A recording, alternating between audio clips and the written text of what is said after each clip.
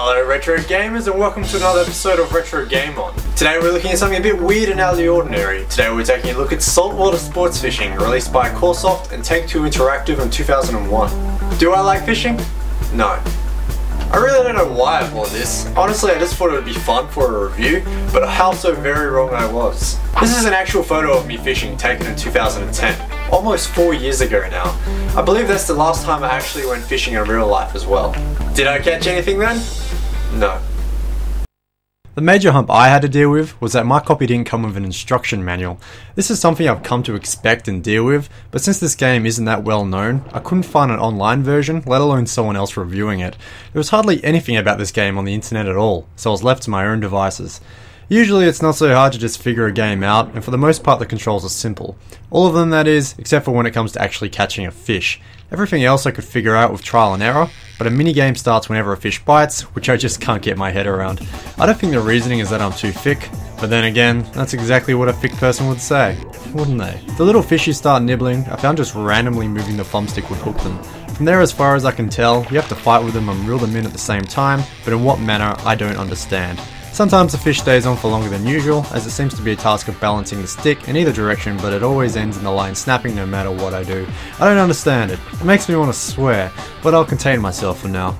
To help, there are quite a few different lines and lures to choose from, which all mean about as much to me as kanji. No matter what I use, the line breaks. Every single fucking time. Huh, whoops.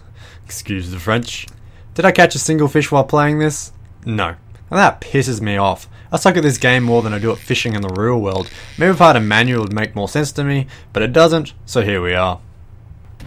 There are plenty of locations around the globe that you can supposedly eventually visit. Western Australia is available as a fishing spot, and you know how much I love my home state being in video games, as expanded upon in Rally Game reviews.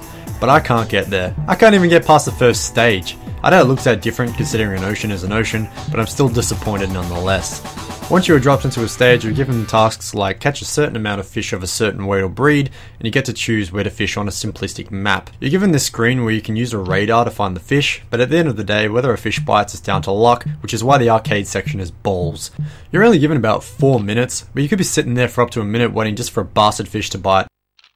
The graphics are fairly basic, but there isn't much to show apart from water, a boat, and some fishes. I would hardly go and say they suck since they're usable, but not like I was blown away either. The animation of the fish is nice, I guess, but it certainly doesn't save the game.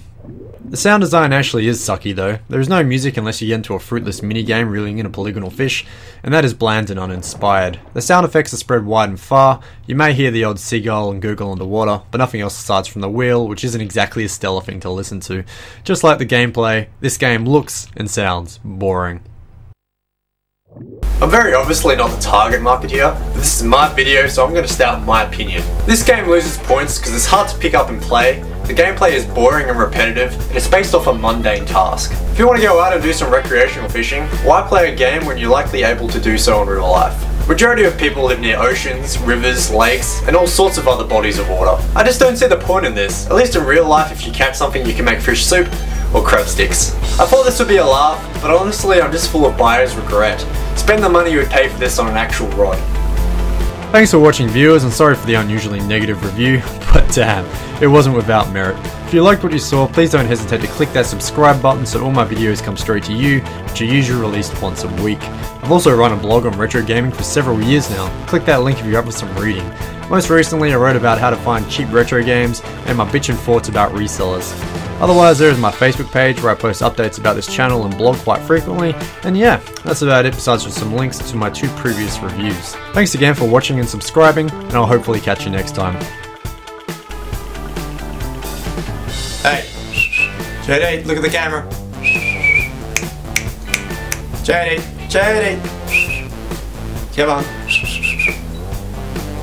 You're a star, baby. You're a star.